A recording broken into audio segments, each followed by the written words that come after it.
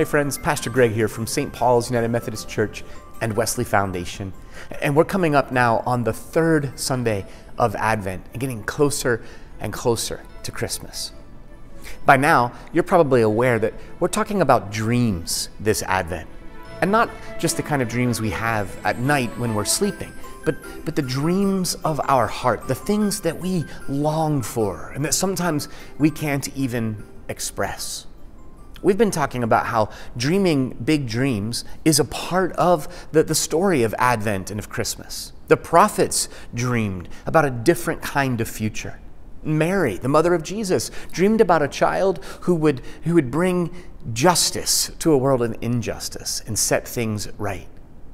This week, we'll be thinking about John the Baptist, who, who stood in a long line of prophets before him and who dreamed big dreams like they did, but who did it in his own way, pointing particularly to Jesus, the Messiah. In some ways, John wasn't just dreaming academically or theoretically, but he was living his dream. He was saying, Look, here it is, right? God has come to us. The, the light of the world isn't some time in the future, but is here right now.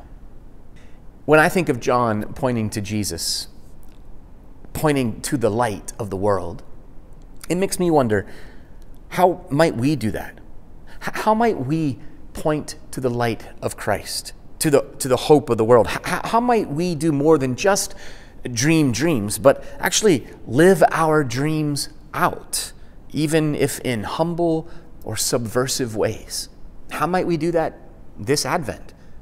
We'd love to invite you to join us this weekend as Pastor Sarah shares a message with us on the third Sunday of Advent, and as our uh, handbell choir provides special music for us uh, in person at 9 and 10:30 uh, on Sunday morning in downtown State College, or online via our live stream on our YouTube channel at 10:30 or anytime after that.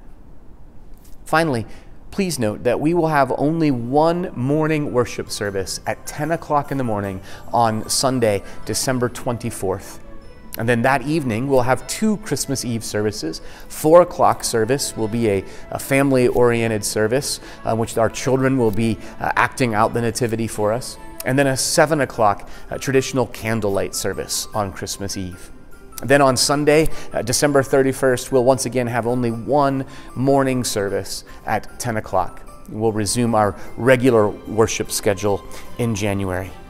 We hope uh, to see you this weekend and in the days ahead as we continue our Advent journey.